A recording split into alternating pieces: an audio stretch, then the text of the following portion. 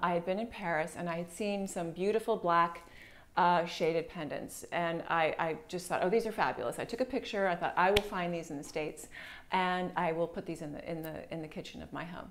After almost a year of searching, let me go to John Rosselli. I said, I know, I know you guys aren't going to be able to make these, but I just thought I would show them. And they just said, they looked at it and they said, no, we can make this. It couldn't have been more perfect.